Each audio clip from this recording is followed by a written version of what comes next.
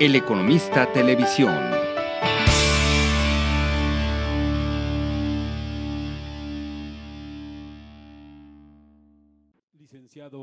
Con el propósito de generar y fortalecer las fuentes de ingresos de los mexicanos, el presidente Enrique Peña Nieto presentó la política de inclusión financiera.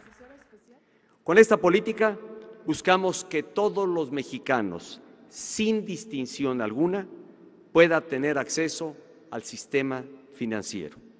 Se trata, como ya lo decía yo, de que puedan tener cuentas de ahorro, contratar seguros u obtener un crédito para hacer realidad cualquier proyecto de vida que se tracen a lo largo de su trayectoria de vida acompañado de integrantes de su gabinete y Su Majestad la Reina Máxima de los Países Bajos. El primer mandatario indicó que la inclusión financiera permitirá contar con diversas formas para realizar pagos con la prestación de distintos servicios. Todo ello permite que las familias sean menos vulnerables, sean menos frágiles, tengan menos riesgos de perder su patrimonio o eventualmente de caer en la pobreza.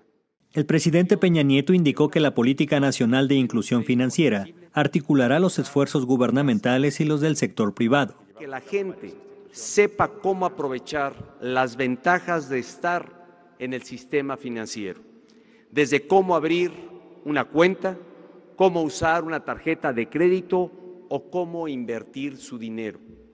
Para fomentar esta cultura desde temprana edad, la Secretaría de Educación Pública promoverá la educación financiera en los planes de estudio de educación básica.